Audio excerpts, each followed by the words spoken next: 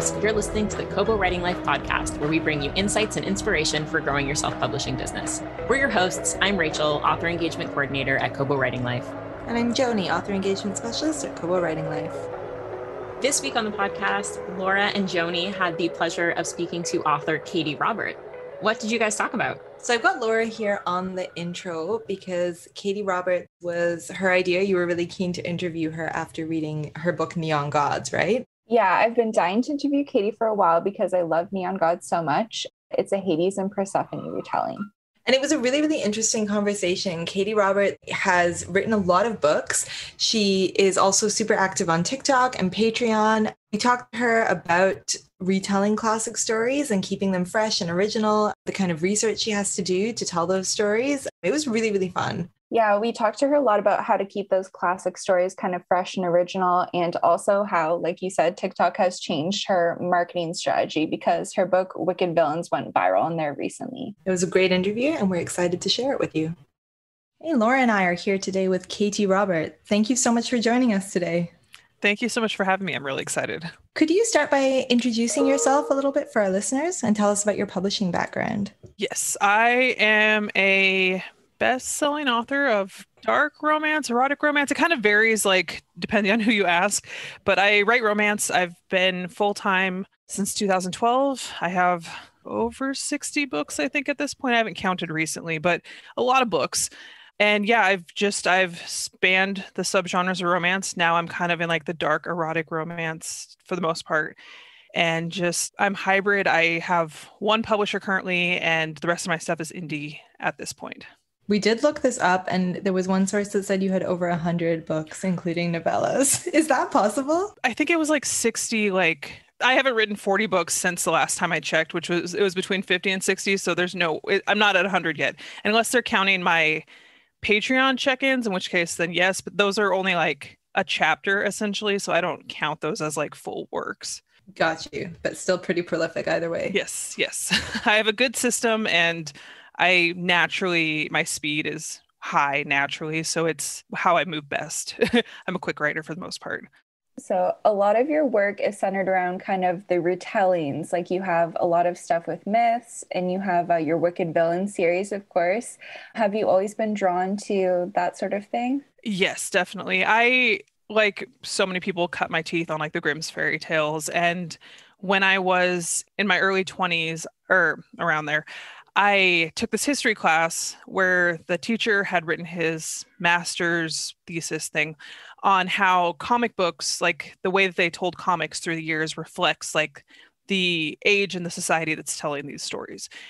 And so I did my like report for that class or whatever on how fairy tales like because you have a much longer history with fairy tales how they have evolved and we retell come back to these core stories again and again and again and tell them in different ways and each person who tells it brings their own personal stuff to it and so it's such a fascinating thing for me because like in romance for example you can't you know toss a rock without hitting 45 beauty and the beast retellings but they're all different because the person telling them is you know using their own like id list i guess essentially to create these stories and so you know i have my romance fairy tale retellings and at some point i'd like to do them horror like more closer to the original tone that they were told in and it's just there's so many different themes that can be plumbed from those stories. I feel like it's fun for me to go back again and again and be like, okay, I've told Beauty and the Beast this way. Like, how can I tell it in a different way that still is the familiar story you know, but is bringing something new from my perspective to it?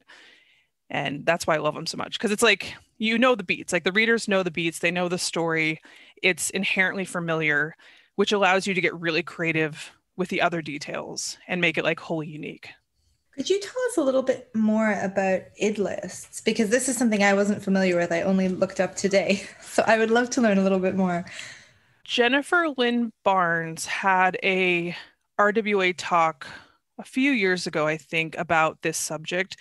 And listening to it was like, oh, yes, like this makes sense to me. And so her thing, and I think at one point or she may still be writing a nonfiction book about it. It has not come out yet. I'm waiting very impatiently. But her whole thing was that if you look, there's certain like pleasure buttons that as readers we hit on, or consumers, like, because it's the same with all entertainment media. And if you look at, she took a bunch of examples of like best selling books or series or whatever and pointed out how they hit on all these different pleasure buttons. And then went on to say, well, you can distill that down further to like there's certain things that we all have that like are instant like instant buy or instantly give you that pleasure button like of you know serotonin. And when as a writer you are telling the like hitting on your list your things like for mine like kidnapping is a love language or like morality chain or enemies to lovers or like she divides it up into several different categories and when you're telling those stories and using those id list items in your stories you will naturally find readers who have similar get that those pleasure buttons from the similar items which is what creates super fans because then they trust you because they're like oh i know in like a katee robert book like id lists match up and so they're more willing to take the jump with me when i try something new. And it's more pleasurable writing experience for me because i'm writing stuff that like really makes me happy and is just you know, it's I'm chasing joy constantly now. That's really cool. So this is kind of how you manage to keep those classic stories like fresh and original and in your voice. Yeah. So she divides it up into character tropes, plot tropes, places, and then just like miscellaneous details. So like I know that I really love stories with like girl gangs. And so or as far as places go, like you see really luxurious bathrooms in like most of my books because I really love like a luxurious bathroom or greenhouses or it's sort of just like elements of a story that bring me joy and it's fun to like put them into different combinations in the stories I tell. It's almost like wish fulfillment for the author in a way. Yeah, it's interesting because a lot of it's like learning and having this ongoing list has been really interesting for me because like I'll like watch a movie and be like, oh, like I didn't realize that that was like an id list item, but I love that element of like, like in John Wick, for example, the whole code of like like the hitman with a code in that like he doesn't murder up anybody. It's just only the people in the lifestyle because they've like agreed to potential consequences by living this lifestyle. Like that's an id list item for me because i love that like which is heavily rose tinted glasses but but like that code is what allows me to like really enjoy stories like that for example I just finished Neon Gods last night. So when you were talking, I was kind of like, check, check, check. There's definitely greenhouses and girl gang with her sisters and everything. So that's kind of cool to see. For me, when I saw you tweeting about Neon Gods and you said forced proximity, I was like, yes, because that's one of mine as a reader, one of those tropes that I always go back to that and there was only one bed also a good one. Yes yes. It's also helpful like as a writer in that when you hit a point in your book where you're like man this is boring or i'm like stuck or whatever you can be like oh i'll just go down my id list item and see if one of those would fit in this part of the book which will make it more interesting for me which makes it more interesting for the reader. So it's it's definitely a multi-pronged benefit. What is your writing process like generally? You said you're a very fast writer I usually have a story kicking around for some amount of time in my head, but I don't and I'll so I'll know the characters. I it's important to me usually to find like stock photography of the characters because I'm very visual.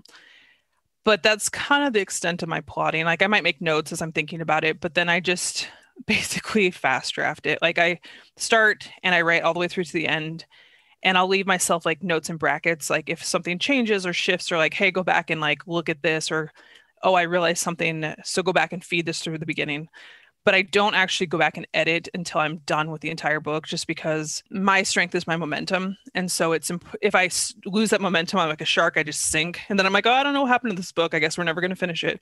So it's very important for me as being momentum driven to just keep drafting. And like sometimes I'll even skip entire scenes and be like, here's a couple notes on the scene. I always regret it when I do because I come back and I'm like, no, I have to write it now. But sometimes you just have to skip forward just to keep that momentum because once I, you can finish it once it's finished or you can fix it once it's finished, but you can't fix the blank page as the saying goes. Yeah, I think that's exactly how I write, or at least I used to write when I was, you know, university kind of thing is like I'm the same. I can't look at a blank page. It's the worst. But no, and I have friends that like are very methodical and like like to have things fully fleshed out and like they can't move forward until they know the next step. And their stories tend to be so much more flesh like I add probably 20 to 30,000 words in edits pretty much every time because I write really condensed and so I have to go flesh it out when I edit because it's not it's at its most distilled form on the first draft. Whereas my friends write these really long like they know all the stuff about their characters in the book and then have to pare it back. So it's just the other side of that coin. And when it comes to like retellings like we're talking about how much creative license do you allow yourself? Do you just have the bare bones of the story and you do whatever you want? Yeah i i don't have any hard and fast rules because like the greek myths are a little bit different than fairy tale retellings because the fairy tale beats are very similar to romance beats in and of themselves and so it's very natural to just follow those beats even if i change like the window dressing with the myths, especially as the series continues, because the Greek myths with happily ever after are in short supply. So I'm going to be playing fast and loose going forward. So it's more of cherry picking the details I want so that people who are familiar with the myths get kind of that payoff of like, oh, I see what you did there. But the stories themselves are going to be a little bit more free form and not as like faithful retellings. And you do a lot of research, especially with Greek mythology? There's so many different retellings already and versions. I mean, I do research. Uh, like it's been an ongoing because I've been obsessed with Greek myths since like you know I went through that Greek myth stage in like junior high I think, and ever since then I touch on them again and again. So it's more brushing up on the details because it's like, oh, I know this myth so well. I've you know read it 500 times. So it's more just brushing up on the details and figuring out which of those details I want to include and how I would like to do that in a way that fits like the world that I build. And what was the inspiration behind Neon Gods specifically? Was it one that you've been wanting to write for a while and it's just kind of been in the back of your head, or how did that come about? Yeah, so the Hades Persephone myth is one that's fascinated me for a really long time because depending on which angle you look at it, it reads very differently. Like, did Hades rape Persephone? Did Persephone run to him to get away from her crazy mom? Like, which, where is it somewhere in the middle? So, like, I have actually touched on it before in previous works. Like, one of my romantic suspense novels has a Hades and Demeter cult in it. And so when I did the Wicked Villains, I had included Olympus and like, because it's based on a different version of different myths. And so it felt natural to be like, okay, well, if Olympus exists in like my world, my grand world that I've created, like obviously Hades and Persephone is a story I want to tell. It's the first one I want to tell because it's the love story. And this is just pure interpretation on my part, but it the elements of it f- read really close to like how a lot of dark romance plays out. Like you have the sort of kidnapping element, you have like the dark hero who's maybe grumpy, maybe icy, maybe like however you want to play that. And then the heroine who sort of finds her feet and finds her strength through this process of untraditional, very untraditional romancing process. And so it's it kind of felt like going back to my roots in that because I write dark-ish romance, and so yeah, it just felt like a natural kind of kismet. I actually wanted to ask you about the dark romance thing. I know that you talk a lot about advocating for content warnings on books about whatever they're about. And I know that that's a bit of a conversation on Twitter in the author author Twitter.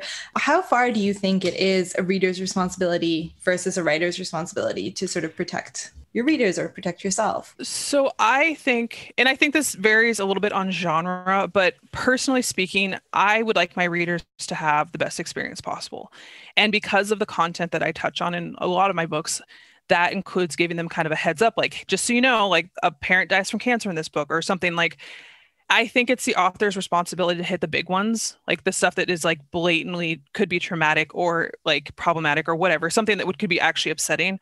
When it comes down to the nitty gritty content warnings, like I think it's really helpful that a lot of reviewers are including like a more comprehensive list of stuff that I wouldn't have think thought to consider, like blood. Like I didn't, you know, I was like, well, it's dark romance. Of course there's blood, but like it's really awesome that reviewers are expanding that. So I've started and there's been conversations on like should if you write explicit like sex should you include that in the content warning? Should you include the types of sex if it's kinky? Like how? And that doesn't feel super like for me personally where i landed on it is that now on my website i have tropes tags and content warnings. And so big nod to fan fiction from this because they do a really great job of tagging all the way through like everything you could possibly think of so you know going into the story like what you're going to get.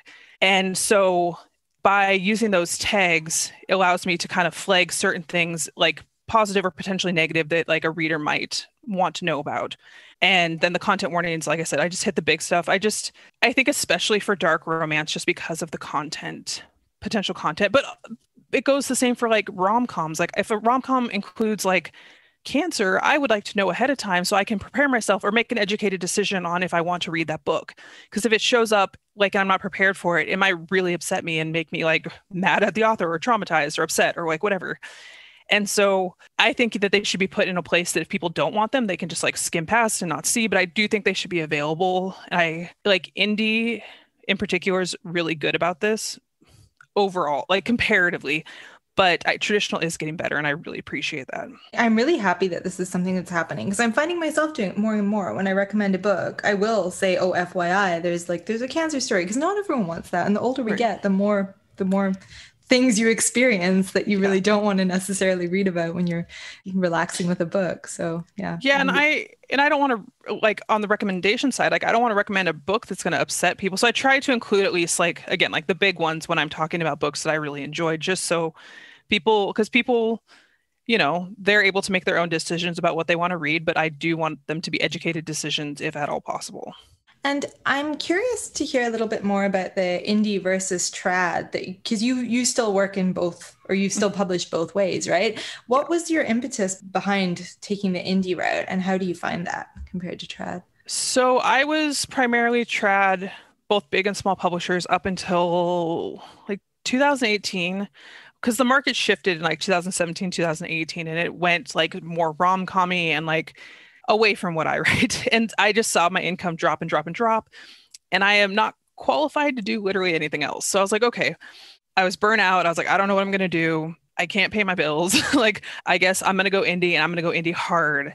It ended up being such a blessing because there are like, to get from conception to like a book out in stores, there are so many people you have to go through and so many points of contact where it can go all sideways. Like, you know you can have the best editor in the world who is advocating for your book and marketing doesn't love it or editor and marketing are super excited but then the booksellers or the retailers don't pick it up at the numbers that we would like to and then it just crashes like there's so many things that could go wrong that affect like the ability of you to continue telling stories in a traditional method whereas indie like nobody tells me no and so because i write so fast and because the percentage i'm being paid is higher because i'm doing it directly it gives me a lot more freedom to fail and it doesn't ruin anything because it's like okay well that didn't work like let's try something else. Or you know this series underperforms well let's just put new covers on it and fix the blurbs and see if that helps. Or like you know you're a lot more maneuverable and it also allows for stories that are not like quote unquote marketable as far as traditional is concerned because they want the same as a successful thing but like slightly different there are publishers who do innovative stuff and it's really awesome but it's not they're very risk adverse. Whereas in indie, you get all so many like marginalized authors of various marginalizations telling their stories the way they want to tell them. And it's really cool. It's really cool that that is a very easy-ish option because you know it's it's not easy. It's it's work. Everything's work, but it's it's an option now where it wasn't you know 15 years ago I actually I have no idea what year. I don't know. like, but yeah, it's like 15 years ago it was a lot less common and it was harder to. And then like once Kindle and stuff opened things up, and so but because I'm indie and because indie pays my bills, I can be more picky with my traditional stuff. And I actually had planned on self-publishing the Dark Olympus series because I was like, oh yeah, I'm just gonna do it myself. It's gonna be a spinoff. It's fine. And I spoke to my now editor just casually, and she's like, no, yeah, I want that. And I was like, okay, well I write fast enough that I can afford to like have a trilogy with them that if it doesn't perform, it won't be the end of the world for me. But it just kind of was this like great timing thing where Hades and Persephone is really hot right now. And even though the book is against overall traditional market, between like my platform and like TikTok picking it up and just a lot of like really awesome things have kind of like melded together to make this book a success. So it's working, but I was prepared for it potentially not to work just because you can't control much in traditional. Like there's potentially like some awesome benefits of like distribution and like publishing support but it's not guaranteed and i've definitely been burned in the past. Yeah let's talk a little bit more about tiktok because wicked villains got a lot of tiktok support on BookTok um, has that kind of changed your marketing strategy now having my books take off on TikTok feels a whole lot like being on a roller coaster and being like, I don't know what's happening. I guess we're just going. Like I have no control over this. I could I'm on TikTok, but I like probably 80% of what I do on there is just engaging as a reader, like talking about books I like because I don't I don't like the hard sell. It makes me uncomfortable. And like TikTok also doesn't like the hard sell, so it's perfect. But I could disappear off TikTok tomorrow and it wouldn't make any difference because it's reader interaction. It's very reader based. It's definitely opened doors for me for certain. Like suddenly people are like, wait, like I'm getting better placement in Barnes and Noble now with my indie book with that series that's indie than I ever did with any of my traditional books previously up to this point. Like it's kind of hilarious. But it's definitely because of TikTok and because of like being on there and being engaged with the community, I'm finally going to write like my romance or fantasy romance that I've had sitting on the back burner for like 8 years cuz you know it's not marketable compared to but I was like, well, you know, this is something that TikTok's obviously thirsty for. I want to write it. So it seems like a good timing. Like it's definitely shifted some of my projects around of like the order I was going to write them in.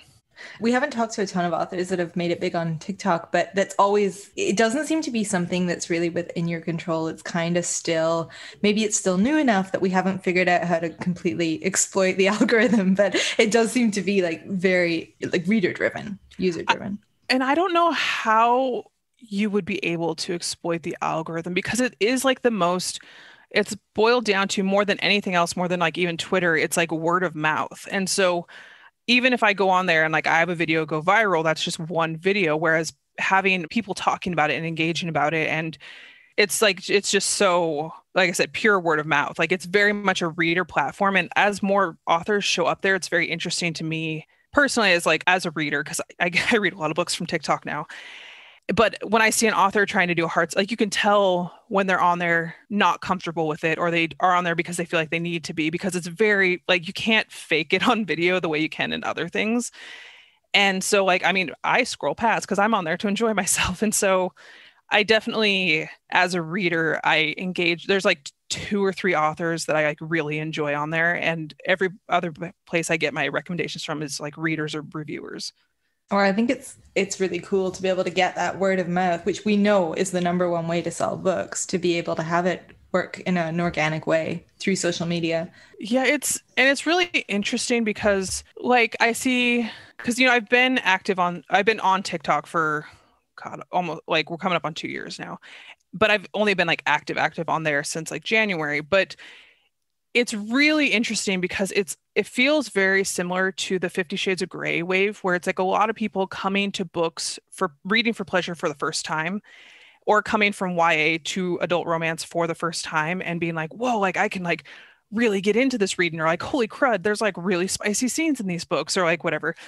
And so it's like all these new this influx of new readers and they like everybody was like, wow, I can't believe like Ice Planet Barbarians took off. And I'm like, there's a straight line from that from Sarah J. Maas's books to Ice Planet Barbarians. Like they want the fantasy elements and they're progressively getting spicier, like with what they're looking for, which Ice Planet's like really spicy. So I'm really interested to see what takes off next because it's fascinating like how they're progressing through like some of these series.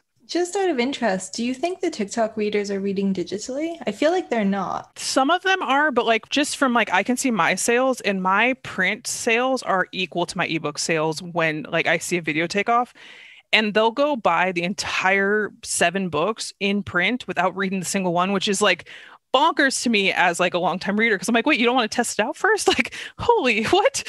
But yeah, no, they I, I think part of that is because a percentage of them come from YA and YA is, you know, read primarily in print by like a lot of people. And, you know, there's the element of like we're on video. So like they like to show off what they're reading and stuff and have it in print. And so yeah, I am seeing like and even neon gods because I, I can't say the numbers as accurately as with you know my indie stuff but my publisher's like shocked by the amount of print sales on amazon and that's all tiktok because they love print like it's definitely and there are subsets of people that are really into like ku like the smut talk or the spicy tiktok or like those ones they definitely do read a lot in ebook in ku like they love kindle unlimited but when the trends take off it is print it is print all the way interesting but yeah, I think especially with the visual media, like you said, people want to hold the book, especially if there's a beautiful cover. Yeah. It's part of the aesthetic.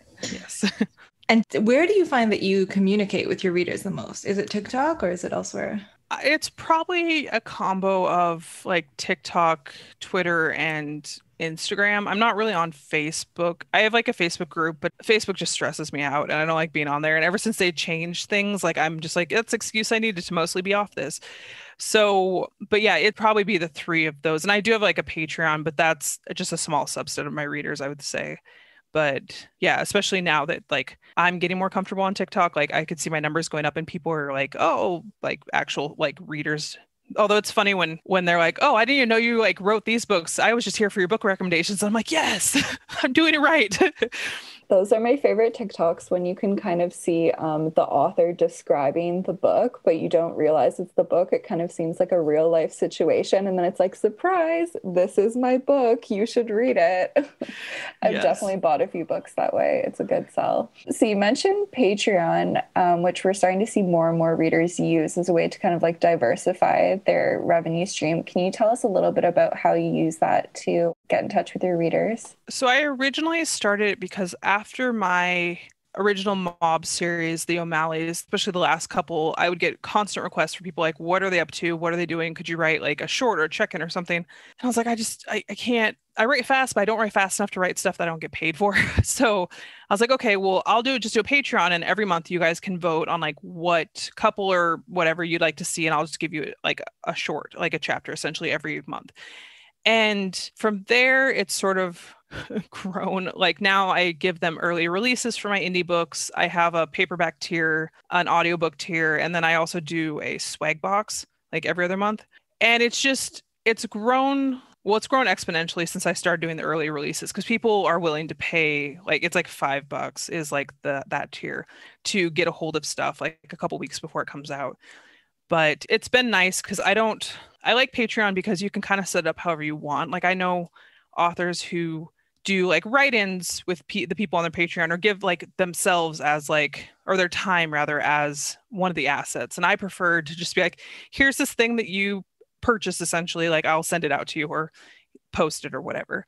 It's yeah, it's it's I mean it's grown like crazy. It's it's really wild. And I also share teasers, but I share them for free. So it allow that's like a great way for growth is to be like on Twitter, like, oh, I shared a saucy teaser of like my work in progress, and people go over, and then it's like a way to inform them that, the Patreon exists without hard selling them on like sign up for this. It's like, no, here's this thing for free. Check it out, poke around. Like, you know, if you want more free stuff, next time I post, it'll show up and and it has the follow option so people can sign up to essentially get emails without paying anything, which is really cool. I like that a lot. Yeah, that's pretty cool. And it sounds like your readers get a pretty good deal for what they're paying. Yeah, I there's I mean I in in hindsight I wish I would have charged a little more for the international tiers because mm. international shipping's a little gnarly, but you know, it is what it is. It's I, I try to make it so that it feels fair, like on my side and on their side, so they're getting a lot of content for what they're paying. But I'm also getting paid what I feel is like a fair amount to justify the work I'm putting in. And are you mailing things out yourself physically? Yes, I which oh, that's a lot of commitment. Yeah, well, I initially was doing it every month and I was like this is not working out. So I ship paperback and swag boxes every other month and then whatever releases were in those 2 months are included. And I find I have a really good system down at this point. Like it's really efficient, and my husband loves packaging things. So between the two of us, it takes us a couple hours to package like 200 ish but yeah, it is definitely a time commitment, like for sure. And what can readers expect from you next? Whew, I got a lot. I am starting a second generation mob series because of Patreon, because I wrote so many check ins. I was like, oh, I see a story for these like adult children now. And there are at least three more Dark Olympus books coming. We just signed a contract for book four, so that's exciting. And then, like I said, I'm writing a fantasy romance, which will hopefully find a home and we'll see what happens. If not, I will go indie with it and I'm okay with that too. So, and then just miscellaneous, like small projects, because I like my dessert projects to keep things interesting. Nice. And where can readers find you online? I am on Instagram and Twitter as Katee with two E's underscore Robert. And I'm on TikTok as author Katee Robert. And those are like the big ones where like if you can find me regularly enough that I will interact. nice. So we will share all those links. And we like to finish off with some rapid fire book questions about what you've been reading. Do you awesome. want to start us off, Laura? Sure. Can you tell us a bit about your favorite romance trope? And do you have a favorite book with that trope? I know it's hard to pick just one, but I love the morality chain, which is basically like one character has no morals to speak of. It's it's kind of like an extreme version of Grumpy Sunshine, except one is usually a murderer. And like, oh, I guess I won't murder those people because like it would make you sad. And my favorite recently that I've read is Run Posey Run by Cate C. Wells. And it is it's a mob romance and it's just it's hard to explain in a way but it's like he's a cl- like clinically diagnosed sociopath and it's just like why are you upset i threw you in a trunk? Like this is a game we're playing i win. And she's like you're gonna murder me. And he's like that's silly. Why would i murder you? Like i don't understand why you're upset. Like it's it's like that miscommunication from grumpy and the sunshine but like the stakes are so much higher and it is so delightful like how she writes that story. Love it. And the best book that you've read this year so far? Oh jeez Oh, no, I do know this one. Okay. Iron Widow by Xiran, I think that's how you say her first name, Jay Zhao. It's a like upper YA that's pitched as Handmaid's Tale meets Pacific Rim. And it's sort of villain origin story. The heroine's response to everything is murder, which is great. And it has a polyamorous relationship, like triad with her and two heroes and which I have not seen in YA yet, and it is so satisfying to like she doesn't have to choose. It's why choose? They're going to be together. So I absolutely loved it. It was all my favorite things smashed into one story. I love that cover. It's beautiful. Yeah. Do you have a favorite myth or legend? Another hard one where we're going to make you pick. I really, really love Medusa, but like the sort of way that the Medusa myth has sort of been adapted and changed in recent years, like with the statue and like I see a lot of art with like Medusa and the blind woman. So like in my head, Medusa lives and's happy. so so like my version of that myth, I guess. Are there that. any other authors that do the retelling of myths particularly well? Oh, there are a bunch. I oh now I'm gonna not know. like Sorry. I know that I've Rebekah Weatherspoon has uh, it's a really awesome way. She does fairy tale retellings with they're like black cowboys. And so there's like she did Sleeping Beauty and Cinderella, and the third one escapes me. But that's a really awesome, like I haven't seen it done quite the way she does it before, and it's really awesome. Awesome. Well, thank you for sharing those. We'll include all the links so that people can add more to their book lists. And this has been great. Thank you so much. Thank, thank you so much for having me. me. Thank you for listening to the Kobo Writing Life podcast. If you're interested in picking up Katee's books, we will include links in our show notes. If you're enjoying this podcast, please be sure to rate, review, and subscribe. And if you're looking for more tips on growing your self publishing business, you can find us at kobowritinglife.com. Be sure to follow us on socials. We are at Kobo Writing Life on Facebook and Twitter and at kobo.writing.life on Instagram. This episode was produced by Joni Di Placido and Rachel Wharton. Our co host was Laura Granger. Editing is provided by Kelly Robotham. Our theme music is composed by Tearjerker. And a huge thanks to Katee for being our guest today. If you're ready to start your publishing journey, sign up today at kobo.com slash writing life. Until next time, happy writing.